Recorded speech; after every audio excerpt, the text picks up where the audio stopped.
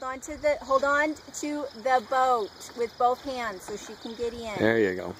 The rope doesn't stabilize anything. Okay, balance, okay?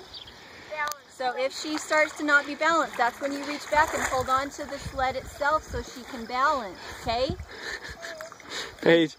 You're just fine with the rope unless she gets unbalanced. Yeah, you can honey. you can let go of the boat now. There you go. It's just if she starts to unbalance. Okay, it's like a bicycle. You have to keep moving to keep the balance going. Did you tell him that's just a snow sled? Uh, yeah, I think one of them said that.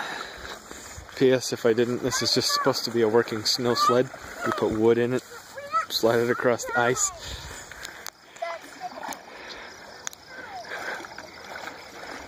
And did they figure that out themselves? Well, yeah, our children are little geniuses. Know. You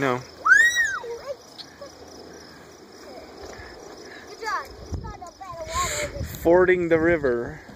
To